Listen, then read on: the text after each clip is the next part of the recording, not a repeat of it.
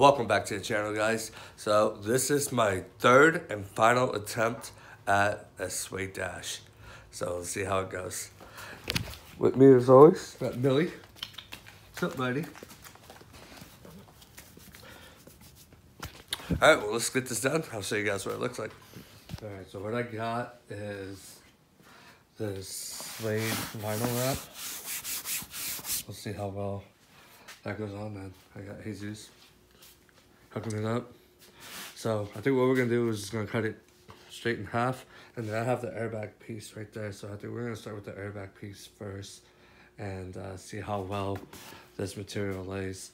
And if the adhesive that is with this is not enough, then I do have a spray adhesive that I will just use on to put this in. But like I said, if this doesn't work out, I think I'm pretty much done. I'm just gonna throw this dash away and uh, leave it how it was. Dash that I got from that parts car, I just cut the wire harness right off. So what we're gonna do is get all the harness pulled out and then we could clean it up and start wrapping. So all the plastic from the dash down, I'm actually not gonna wrap. Uh, I'm just gonna try to get whatever this felt is or whatever this is. I'm gonna just try to wrap that top part. And the same thing where, where the vents are, I'm probably gonna leave those unwrapped as well. But see how it goes. I'll get back to you guys after I get this harness pulled out of here and when we start wrapping. All right, so we got the harness completely pulled out of it. Now we're gonna start wiping it down and I'm not quite sure what I have to clean it with. I might end up just using that rubbing alcohol.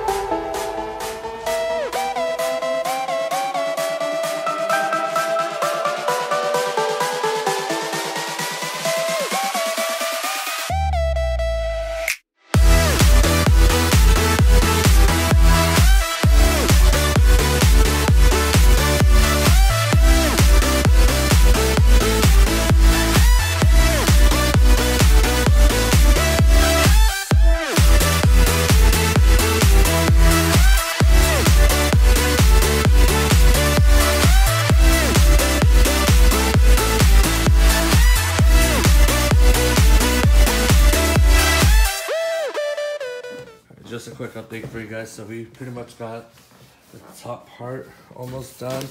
And uh, yeah, these vents are falling in pretty well. So I'm not quite really liking how this is looking against the suede. So I don't know what I'm gonna do with that. Maybe uh, yeah, paint it black, like gloss black or something. And uh, something here, it tore a little bit in the corners while we were tucking it and also stretched uh, or stretched the material. But we'll finish up the bottom half. Here's, here it is. So there's a couple blemishes here and there like around this area where that kind of got split while we were trying to stretch this here. And then uh, I think there's a couple more spots. Right here yeah. We messed up right there that kind of tore.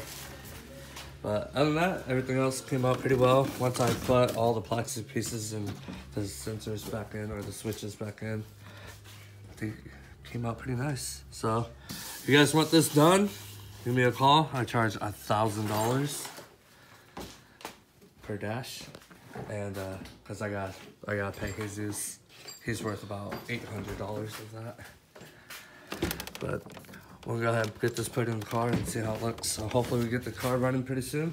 But I'm gonna go ahead and end the video here. Uh, that's pretty much it for the dash. I'm glad I figured something out. Um, yeah, I spent probably close to like a hundred dollars on the flocking kit. Um, same thing with like another 30 or 40 dollars on the suede uh, wrap and then a few other materials that we tried that didn't work out with the flock so i'm about 150 into this dash including buying it was another 50 so i wish uh, i would have just done this from the get-go right off the bat but you know, it cost me $200 to figure this out. So you guys could get it done in probably like 40 or 50 bucks now. See you guys in the next video. So like, share, subscribe. I'll do that $100 giveaway at 250 subscribers, which we're very close to. So I'll see you guys in the next one.